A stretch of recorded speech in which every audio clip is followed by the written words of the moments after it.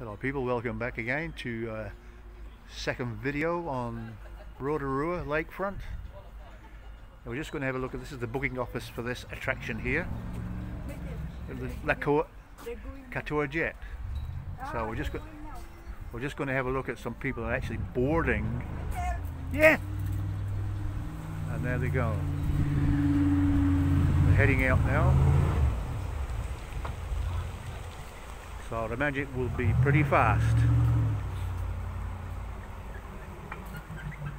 There they go. I suppose, well, they're close to the shore. They, there's only a limited speed they can go at. And they'll probably have a wonderful time. Yeah, they'll disappear out of sight now. You'll hear it later with the engines putting on, probably Perkins V8 diesel or something like that. Who knows? That's one of the um, many attractions here. And this is where it's set up. There's a boat here.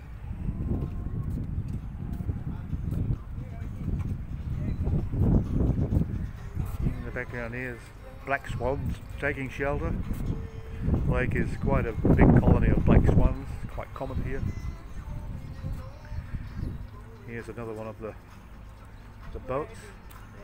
Big, big duck one here. That's a black swan, yeah. Huh? Black swan. Black swan, oh, very big. Yeah. So that's just a quick view of uh, another another attraction here in Rotorua.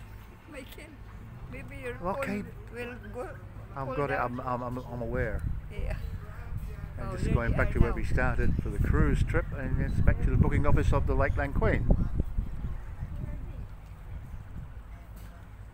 Very nice, very peaceful, pleasant day really when you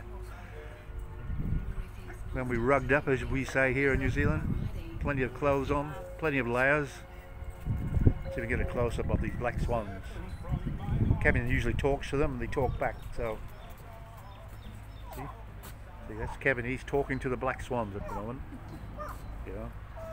I'll take him back to the hospital when we leave here, okay? Don't worry about him, he'll be okay. So there he is, a black swan. Hello. Yes, but Hello. Hello. Quick, quick, quick, quick, quick. They're not ducks, they're Oh, what's that? so the black swan, they've got a beautiful red beak. Um, that- yeah. Probably, I'm assuming, I don't know whether two males or two, I don't know, but yeah. It's a female, it's a male.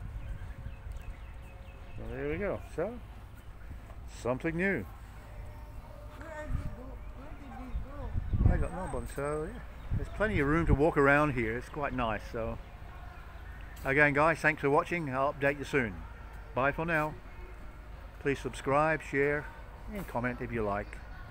Catch you later.